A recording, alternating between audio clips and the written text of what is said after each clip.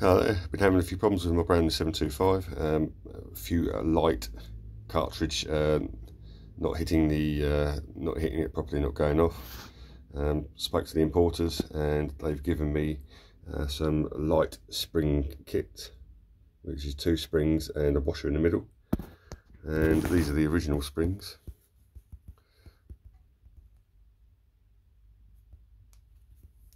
Uh, hopefully that's going to sort it all out.